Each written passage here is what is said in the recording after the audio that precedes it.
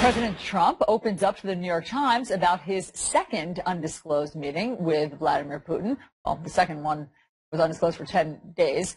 What do world leaders think of the two men's relationship and President Trump's leadership?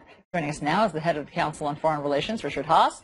Mr. Haass and his new book are featured in a new Vice special report, A World in Disarray. It premieres tomorrow at 10 p.m.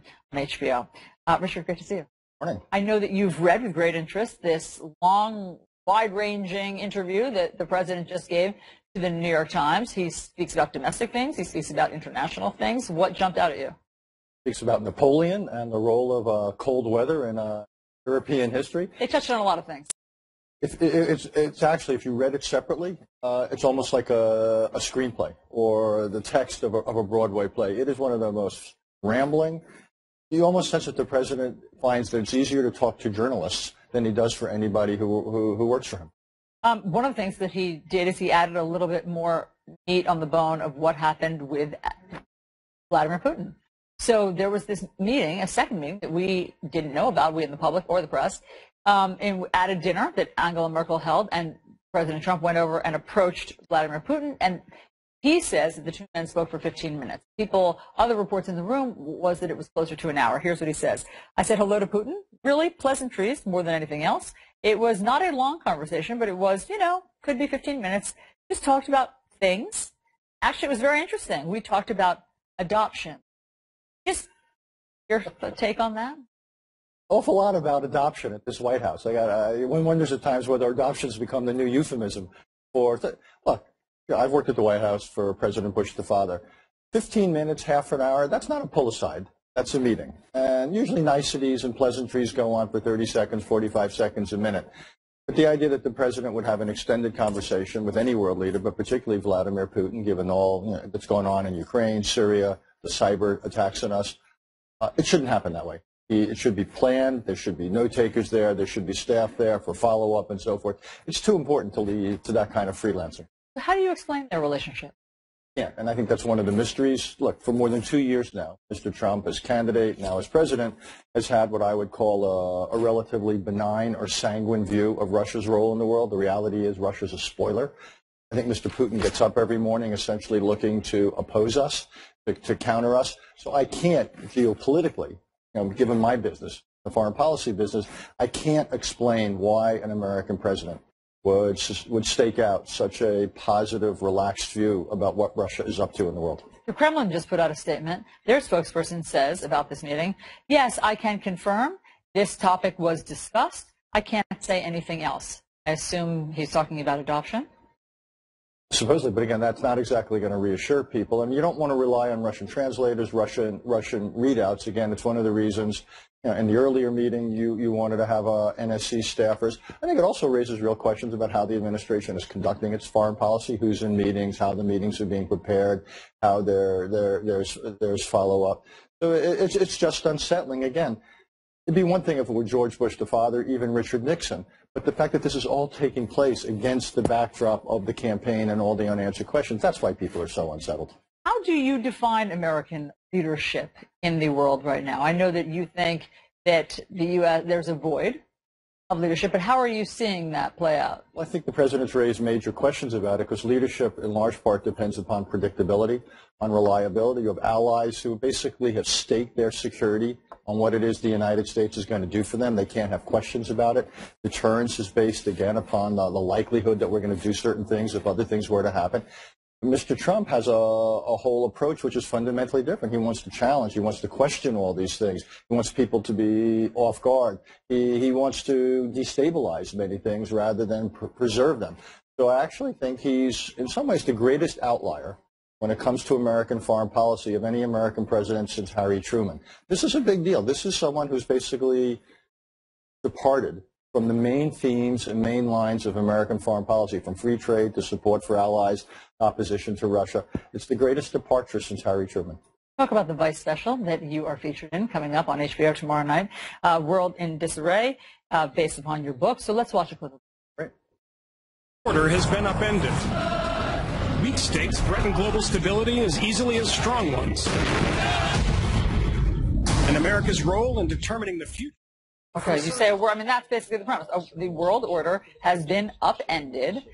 What causes you to stay awake at night? What's your biggest?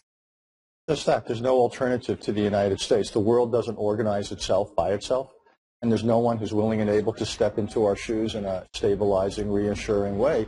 And at the end of the day, if things go bad out there, they're not going to stay out there. We can't build a giant moat around the United States. If things go bad out there in terms of security or the economy, they're going to find their ways here. We are going to pay an enormous price for what I call a world in disarray. And I think that's the direction we're heading in. Uh, if you're not worried about the direction of history, you ought to be. I know that in your book you do have some prescriptions for all of that. Uh, so again, people can watch the special. It debuts on HBO Friday, 10 p.m. Richard Haass, great to have you here. Thanks, Alisyn. Thanks so much for following a lot of news this morning. Let's get right to it. Sessions should have never accused him. He should have told me, and I would have picked somebody else. Most people would quit their job if their boss did this. This is a president who believes that everybody is out to get him. I said hello to Putin. We talked about adoption. It seems a bit hard to believe that that was really the topic of conversation. He's obsessed with Russia. This is a battle between an outsider and a whole city full of insiders. That operation that he had on Friday revealed that he has an aggressive type of brain cancer. There is nobody who is the kind of fighter that John McCain is. This disease has never had a more worthy opponent. This is New Day with Chris Cuomo and Alisyn Camerota. Good morning. Welcome to your new day. It is Thursday, July 20th, 8 o'clock in the East, and we begin with the New York Times extraordinary interview with President Donald Trump. You really get a sense of where his head is on the issues that matter. The cloud of Russia clearly weighing on his mind at this six month mark of the presidency. The president doing something that we have not heard in recent history. He throws his own attorney general, Jeff Sessions, under the bus saying if he had known that Sessions was going to recuse himself, which he should have known, he wouldn't have picked him. The president also accuses fired FBI Director James Comey of trying to leverage a dossier of compromising information in order to keep his job. President Trump then goes on to issue a warning to special counsel Robert Mueller about that investigation, and he once again insists that he is not under investigation. Now, earlier we spoke with one of the reporters who conducted this wide-ranging interview. It's our CNN political analyst and New York Times White House correspondent Maggie Haberman. Here's a piece. Fascinating, wide-ranging interview that you have. He talked about Jeff Sessions, whom he seems to have soured on. Let's play that for our viewers, and then you can comment on it. Listen to this. Sessions should have never recused himself. And if he would, if he was going to recuse himself, he should have told me before he took the job, and I would have picked somebody else. He gave you no heads up at all. Zero. So Jeff Sessions takes the job, gets into the job, recuses himself. I then have, uh, which, which frankly, I think is very unfair to the president. How do you take a job and then recuse yourself? If he would have recused himself before the job, I would have said, thanks, Jeff, but I can't, you know, I'm not going to take you. So, Maggie, we want to know what jumped out at you. I mean, isn't the timeline of that a little confusing? How did Jeff Sessions know he was going He to didn't know. recuse, recuse himself before he took the job? He couldn't know. Well, my take on it, uh, and, and I think um, among the, the more charitable explanations, is that what the president was referring to, and he talked about it at other points in the interview, uh, was the fact that Jeff Sessions botched his testimony um, in, in his Senate confirmation hearing, where he was not forthcoming uh, about Russian contacts with the uh, uh, Russian ambassador. And my read on what the president was saying was that he, you know, had Sessions uh, made clear that he was going to omit that, or had he had a concern about that in the first place, that he wouldn't have appointed him. Look, we know that he's been angry at Sessions. Uh, Peter Baker, one of my two colleagues, the other is Mike Schmidt, uh, uh, who conducted the interview with me. Uh, Peter Baker and I wrote several weeks ago uh, that the president was fuming at Jeff Sessions. This has just been going on for quite some time over the recusal. He, the president, sees the recusal as the original sin. What was striking and what jumped out at me was that he said it to us. Um, I was very surprised that he said it on the record, but as you guys know, Um, the, the gap between uh, what this president says privately and what he says publicly has always been pretty narrow. It's usually pretty consistent. Uh, but it was a remarkable disclosure and a remarkable public rebuke. The president seems to view Sessions stepping away from the investigation as the main domino that has led to the special counsels. Is that accurate? Absolutely. Uh, that's not, not even a close call. I mean, he, he believes that it all leads back. Mueller leads back to Rosenstein, who leads back to Jeff Sessions. And the president really laid it out that way, sort of unfurled uh, how he watched this in his mind uh, develop and what has been frustrating for him. Next, James Comey. He shared more of his opinion about fired FBI Director James Comey, as well as what he thinks, what the president thinks that dossier was really about. So it was filled with salacious details, unconfirmed. Um, so the president, this is not audio, but I'll read it for everyone, when told you this, uh, when he, meaning Comey, brought it, the dossier, to me, I said, this is really made up junk. I didn't think about anything. I just thought about, man, this is such a phony deal. So anyway, in my opinion, he shared it so he, so that I would think he had it out there. One of the reporters asks, as leverage? Trump says, yeah, I think so, in retrospect. Give us more context here. I think, I mean, he was pretty clear. I mean, what he, what he was indicating was that he felt as if James Comey was, you know, essentially presenting him with this information and dangling it to show that he had something on the president. Uh, I think in the president's mind, that was about keeping his own job, uh, James Comey keeping his own job. But again, another remarkable statement from the president. Look, he has made, in, in fairness, uh, a series of remarkable statements about James Comey, um, you know, beginning with when he fired him.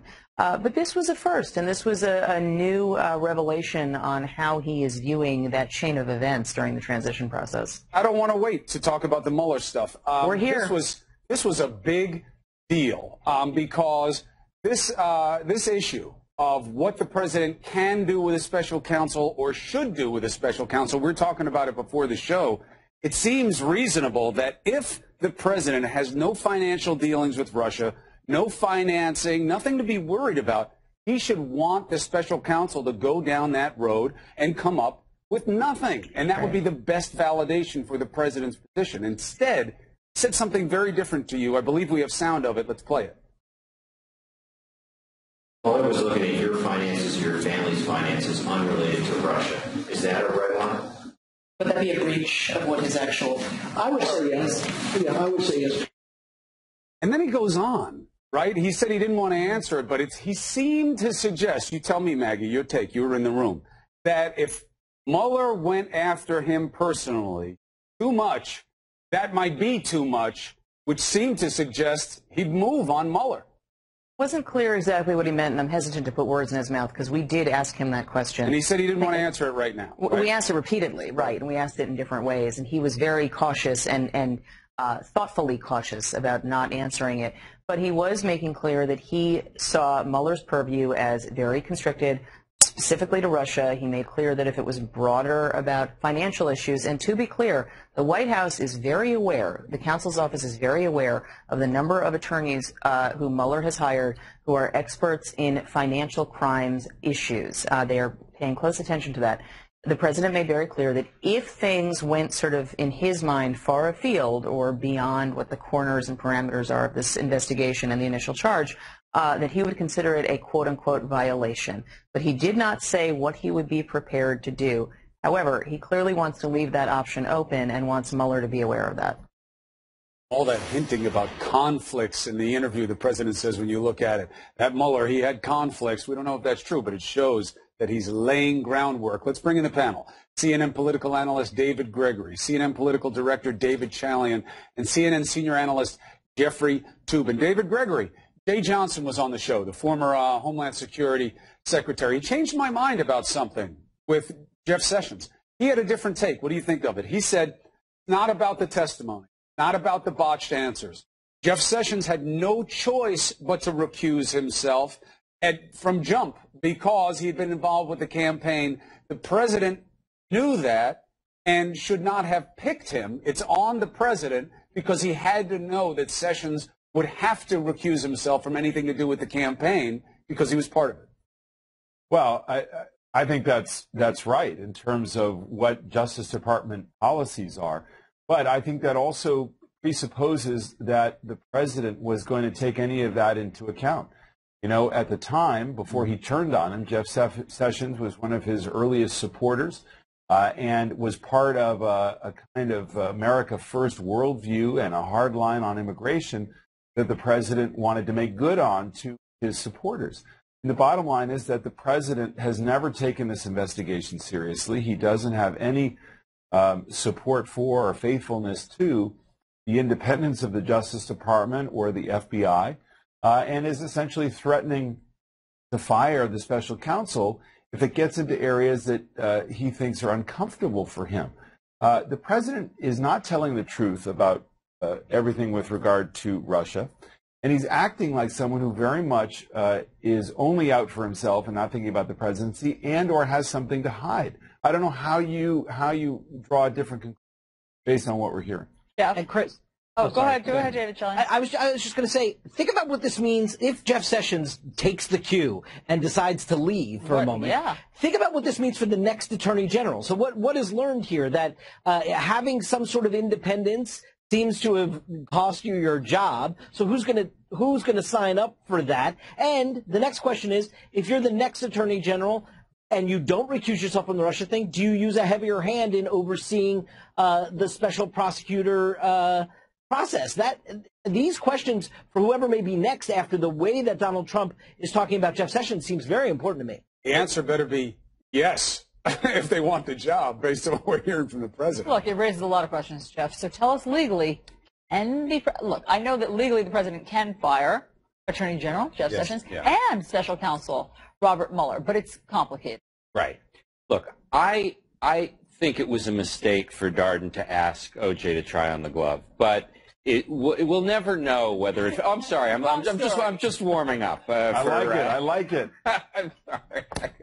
Um, the answer is yes. He could an engineer the firing of the special counsel, but he can't do it directly. He has to do it through the Justice Department. So he would have to ask Rod Rosenstein to fire him. Who he's not crazy about. Also, He doesn't like Rosenstein either. Rod Rosenstein may or may not agree to do it. If not, it would start to go down the chain of command, and he'd have to find someone who who would agree to fire Mueller, and that's um, and that would be a direct replication of what happened in the Saturday Night Massacre in 1973. So you're really time traveling today. Yes, You're I know. OJ I know. I'm and like, well, it's the only Mueller. parallel. 21st century, I'm not. But it's the only parallel that we It- have. It is, and, it. and it's and it's it would be a precise parallel if you had Justice Department officials refusing to fire an outside prosecutor. Now, except the president's counter to all of this analysis would be, yeah, but that was a crime. You had a crime in Watergate. There's no crime here. This is all just open questions and speculation because of what the Russians did, that they always do, and that we do also, by the way, which is election interference, and it's all nothing. Well, yeah, that, that has been the president's approach to this whole thing, which is that this whole thing is absurd because there's no crime. But that assumes the conclusion of the investigation. Maybe Mueller will find uh, crimes. That's why what he was appointed to do. I mean, the, the fact that Watergate originated in a break-in that was an acknowledged crime, and this and this investigation did not have the same kind of precipitating factor. Prosecutors investigate possible crimes all the time. That doesn't mean what they're doing is illegitimate. David Gregory, we will know more next week because we now know that there are actually dates certain for um, a behind closed doors interview in front of a Senate, Senate commission Intel. for Jared Kushner, and then an open interview, public hearing for Don Jr. and Paul Manafort, uh, middle of next week, Wednesday. So, what are you looking at? Well, we'll see how much we find out in, in open session. Uh, you've got two committees who are bearing down on these witnesses and gathering everything up. I don't know that that means they're going to draw any conclusions, and there may be some information that is leaked or is put out there, you know, publicly that uh, points to a particular direction. But I don't think anything is going to be definitive. Uh, but it, doesn't change the fact that the president has a strategy here of undermin, undermining everyone involved in this process, undermining the process itself, and nobody appears willing to try to stop him. know, there's no Republicans who are speaking out about him. The fact that he is not thinking about the presidency, is just thinking about himself and his own legitimacy. They stood up to him on uh, health care, but appear to be giving him a pass on this behavior with regard to the Russia investigation, just like Trump is giving Russia a pass on what happened. Well, we'll see. It's going to be a big day. Manafort, Don Jr., and Jared Kushner. That'll be private. So we. All right, panel, thank you very much for all of the insights. We do want to get to a major developing story now, and that, of course, is that we're following the health of Senator John McCain, diagnosed with brain cancer. The 80-year-old is recovering at home in Arizona after having surgery last week to remove a malignant tumor. The senator's doctors at the Mayo Clinic spoke exclusively CNN's chief medical correspondent, Dr. Sanjay Gupta. And Dr. Gupta joins us live from Hot Springs, Virginia, with all of the latest. Sanjay, what did his doctors tell you? Well, they gave a lot of details on what's happened uh, over the last several days. Most people heard about the operation that Senator McCain had. But we got an idea of just how things transpired that day and how urgent this operation was, as well as what caused all this in the first place. Senator John McCain is recovering well after an operation last Friday to remove a malignant brain tumor known as glioblastoma. With Senator McCain's permission, I spoke exclusively to two of his Mayo Clinic doctors about the details of his care. McCain had come in for a scheduled annual physical early Friday morning with no complaints except intermittent double vision and fatigue, which he attributed to an intense international travel schedule over the last several months. His doctors ordered a CAT scan to check for anything from a possible blood collection to a stroke. Upon review of the scan, doctors called McCain, who had left the hospital, and asked him to immediately return for an MRI. The scans revealed a 5 centimeter blood clot above the senator's left eye, which appeared to have been there for up to a week. The decision was made to perform an urgent operation. By 3 p.m., McCain was in the operating room undergoing a craniotomy to remove a tumor. Doctors made an incision above his left eyebrow to gain access to his skull, where they bore a 2 centimeter hole to remove the clot and the tumor. A pathology report revealed a primary brain tumor known as glioblastoma. It's the most aggressive type of brain cancer. It is the same type of tumor that Beau Biden and Ted Kennedy had. With treatment, which usually includes radiation and chemotherapy, the median survival is 14 months, but it can be five years or even longer.